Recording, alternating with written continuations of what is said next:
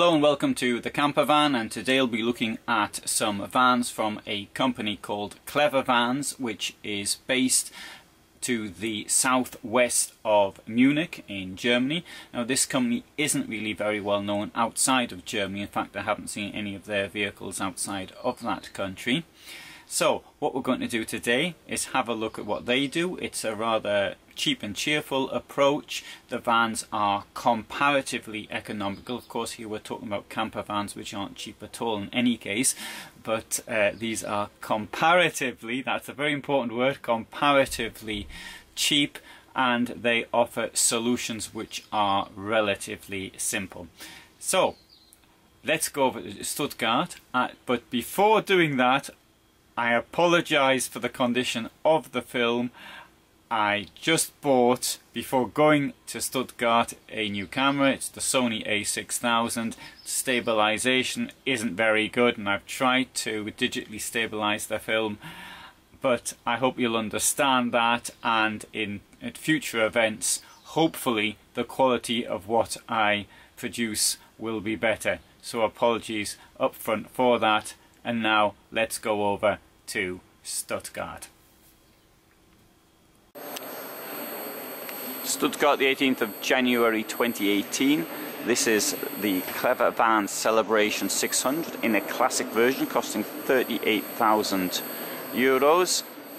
And let's have a look at the front so we can see that it's on a Citroen basis. I think the Parrot doesn't come as standard we can walk in now, have a look inside. Rather standard approach for a van. Uh, here, smallish table which can be extended by one third. We've got small kitchen. Again, I say small, bear in mind this is not a very large vehicle. Two burner hob, small sink. Got here a fridge, which in my opinion is a sensible size for a van of this nature. We've got drawers under the kitchen. Here we have the toilet which would benefit more from a sliding door than this because it's so small. Having said that the shower is pretty large really.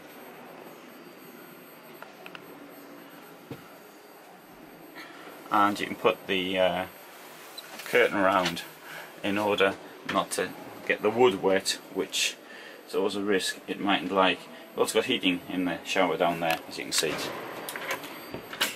Coming out the back here. Now this is the bed when it's up, which is, I'm glad I've got this opportunity to show this. This shows the amount of space that you can get to stick your bike, or if you're moving some boxes around or something like that. Gives you all this place, this room to uh, play with.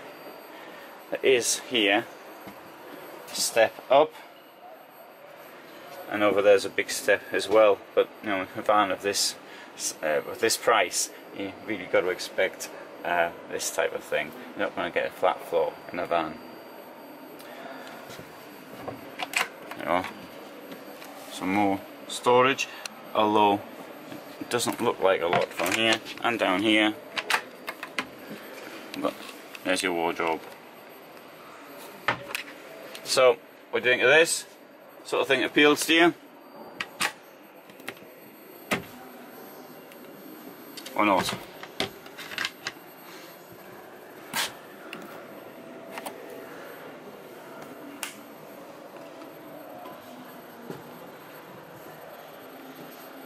Some of their vans actually would work as stealth vans for those wanting to hide in the, in the city and sleep in the city. You can have a look at their Celebration 600 light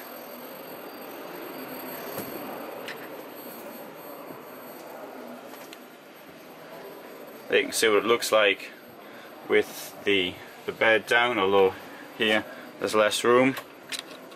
Same toilet.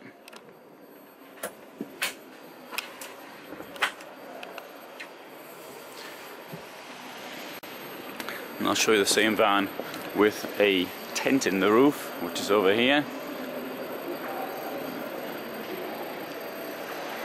This is the Celebration 600 tent's an extra 4,000 euros.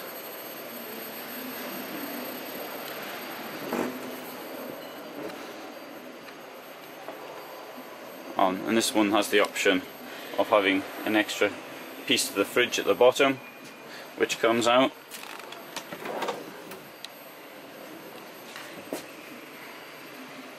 Bed's down. This one has a sensible sliding door, which makes more sense than the uh, a, a traditional door